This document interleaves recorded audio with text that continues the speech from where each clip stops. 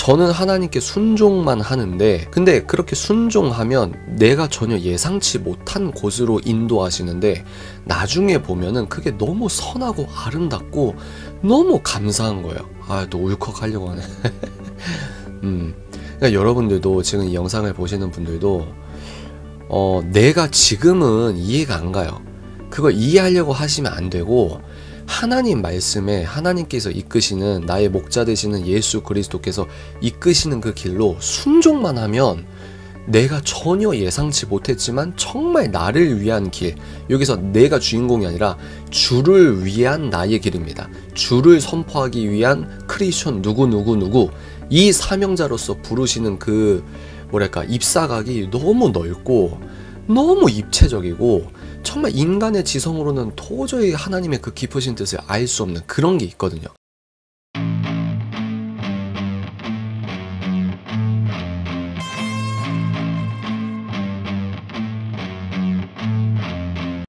안녕하십니까? 책 읽는 사자입니다. 여러분 어, 오늘은 어, 저의 영상들을 오랫동안 봐주신 구독자분들을 위한 영상입니다.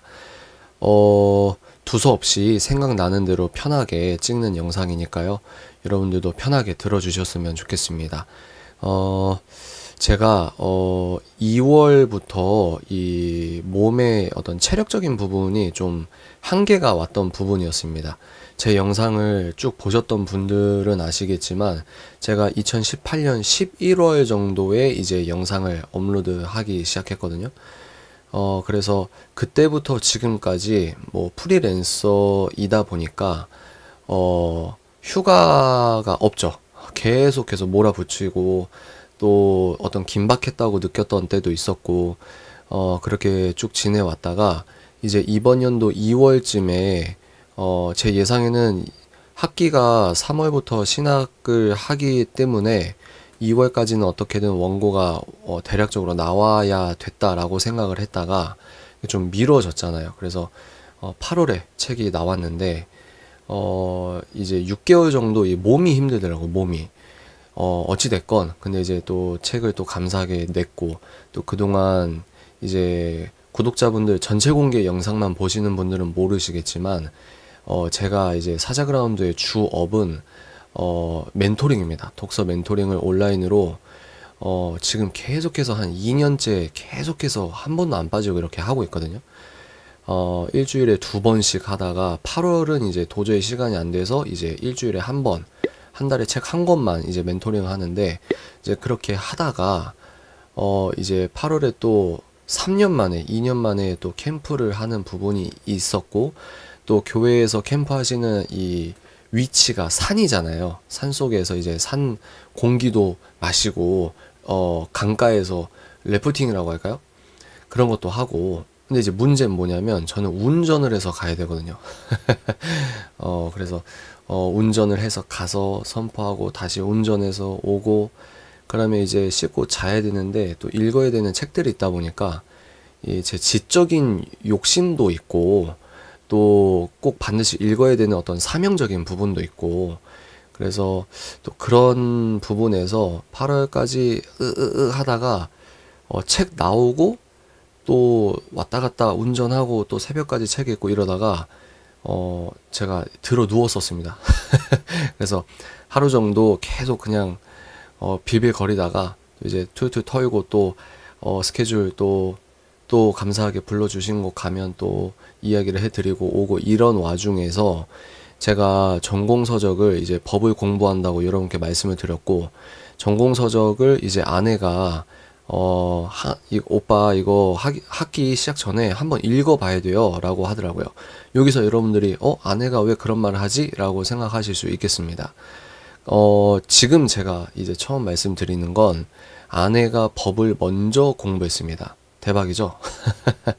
그래서 작년에 제가 아내한테 이제 기도하면서, 어, 40대의 책 읽는 사자, 그리고 50대의 책 읽는 사자, 60대의 책 읽는 사자. 제가 이제, 어, 가늠하는 부분이 있을 거지 않습니까? 근데 이제 제가 아내한테 우리가 하나님께 어떻게 쓰임받을지 모르지만, 어, 40대 되기까지, 어, 우리가 부부가 공부하자. 그래서 아내는 법학, 저는 신학 이렇게 시작을 했던 거예요, 사실은. 그래서 아내는 어 소위 말해서 땅의 법이라고 하면 저는 생명의 성령의 법을 공부한다 뭐 이렇게 어 부부가 함께 공부하는 것들을 시작했다가 이제 저도 이제 어 법학으로 어 들어가게 된 거죠. 그래서 아내가 한 학기 선배님입니다. 그래서 또 아내 자랑을 좀 하자면 아내가 민법 빼고 첫 학기 어 성적표가 민법 빼고 다 올 A 뿔입니다. 대단하죠?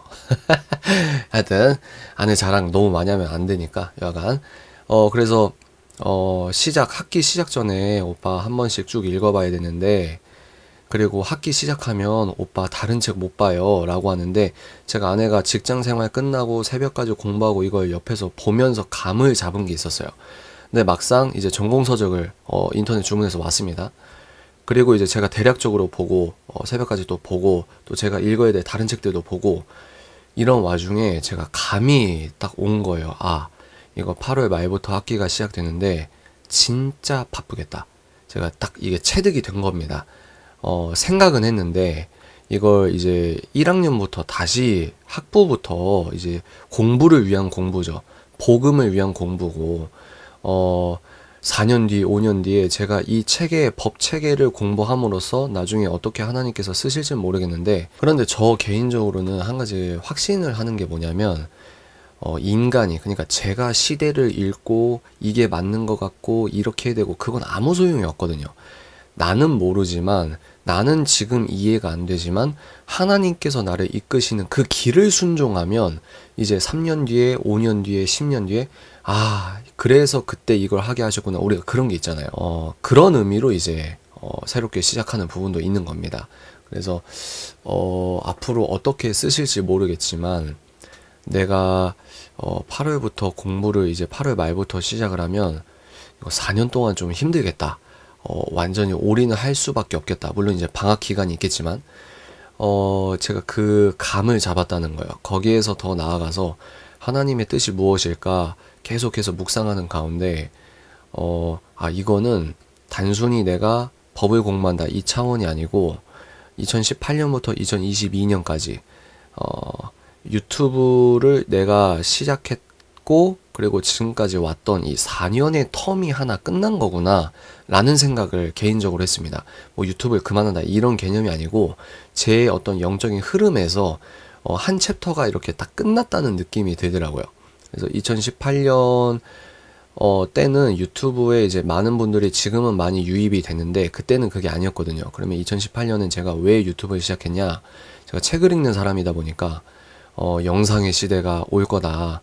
그거 보고 이제 아 어, 내가 컨텐츠를 제작하는 사람으로서 더 이상 내가 미루면 안 되고 영상을 찍어서 올리자 이런 부분이었거든요. 그러다가 이제 책 읽는 사자로서 예수님을 어, 대외적으로 믿는 사람이다 이렇게 말씀을 드리고 어, 이런 활동을 해왔던 겁니다. 아 4년에 4년 동안 내가 이렇게 달려왔는데 하나의 어떤 저는 모르지만 저를 향하신 하나님의 어떤 한 챕터가 어, 하나 끝난 것 같다. 새 챕터로 내가 들어가는 거구나 라는 생각을 했다는 겁니다. 어, 그래서 오늘 이 영상을 촬영하는 날은 제가 소중하게 사랑하는 분과 오랜만에 만나 뵙고 또 너무 감사한 시간을 보내면서 어, 어, 저에 대해서 다시 좀 돌아보는 시간을 가졌습니다. 음, 제가 어,